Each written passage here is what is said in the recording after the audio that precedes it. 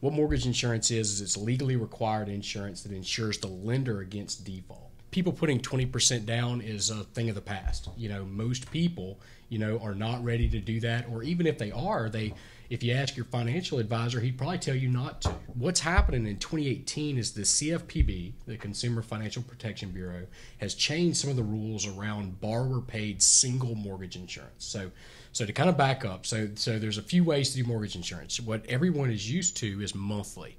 And so that's the big expense. That's what people don't like. But you can also increase the rate slightly and not have any premium monthly at all. You can finance a premium in or you can pay it up front. So what's changed is the ability to pay it up front. This year they made that a lot easier to do where it fits with the other laws. And one thing I was looking at a scenario where rates have come up three quarters of a point in the last year. Uh, on a two hundred thousand dollar loan, that's ninety dollars a month. So it's not a ton, but Right. it can make a difference. Okay, so I ran a scenario with this new type of mortgage insurance, and it made a hundred and ten dollar difference in the payment doing this mortgage insurance, meaning that your payment is lower on a conventional loan in this scenario now than it would have been a year ago when rates are three quarters of a point lower.